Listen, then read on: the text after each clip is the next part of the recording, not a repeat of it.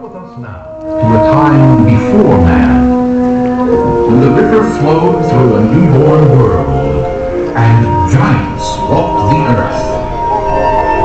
Welcome to Jurassic Park.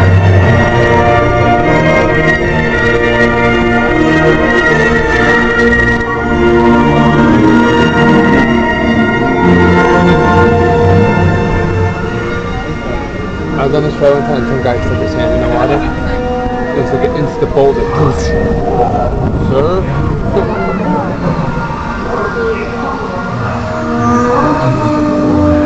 My money on the other side. The ultrasaurs in this lagoon are among the largest creatures ever to walk the earth. And despite their awesome size, these gentle giants pose no threat to us.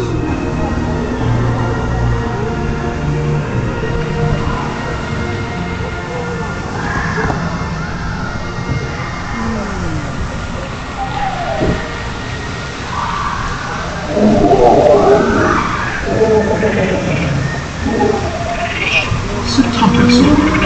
with their curved, parrot-like beaks, are the most primitive of the horned dinosaurs.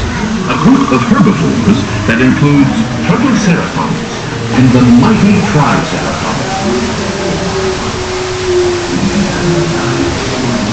Earth armored dinosaurs can often be found among the geothermal formations of Stegosaurus springs. Heavy armor plating and spiked these herbivores from savage predators of their native period.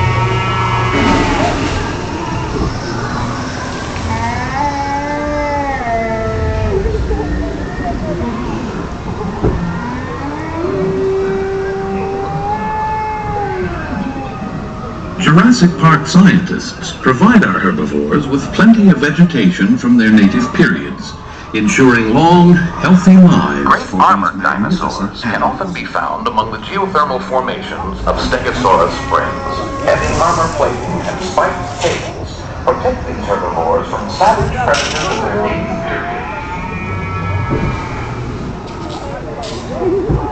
Next up on our tour is Hadrosaur Cove.